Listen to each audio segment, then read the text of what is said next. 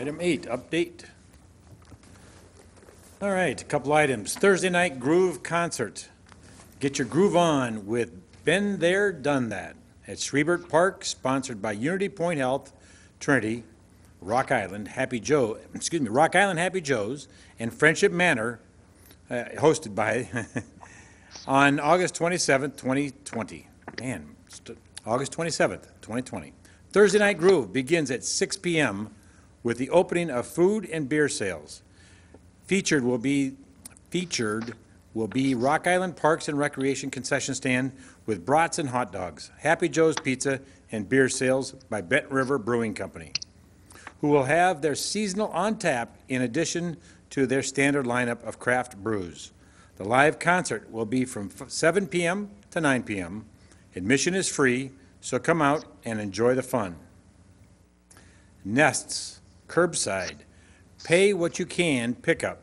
The Martin Luther King Jr. Community Center is hosting a Nest Cafe curbside pickup event. Come and join us on August 31st, 2020, from 4 to 7 p.m. or until sold out. They will be serving sweet sesame chicken over noodles with harvest vegetables. Nest's mission is to nourish bodies and the community by providing delicious, sustain- sustainability-sourced food to all who, in, who enter regardless of their means. The MLK Center is at 630 9th Street in Rock Island. Municipal election packets are available tomorrow.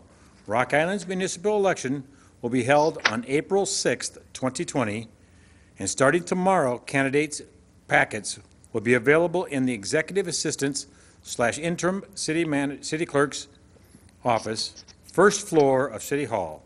Wards 1, 3, 5, 7, and the mayor will be on the ballot in April.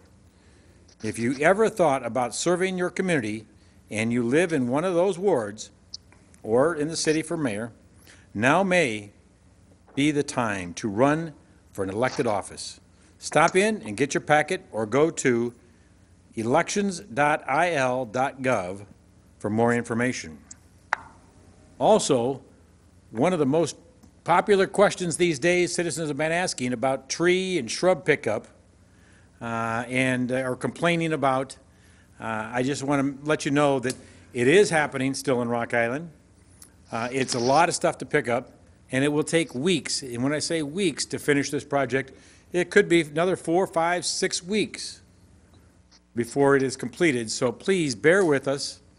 They're working very hard every day at picking these, stu- this stuff up.